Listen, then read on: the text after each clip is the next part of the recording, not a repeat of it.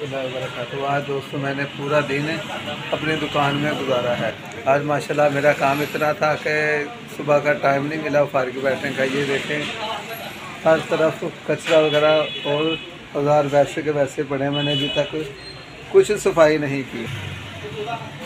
ईद गुजरी है तो इसलिए सब लोग काम करवा रहे हैं भाई का। अगर आपने भी करवाना है तो आप भी हमारी दुकान पे आ सकते हैं काम करवाने के लिए। अगर आपको मेरा चैनल पसंद है तो प्लीज़ लाइक, शेयर और सब्सक्राइब ज़रूर कर दें।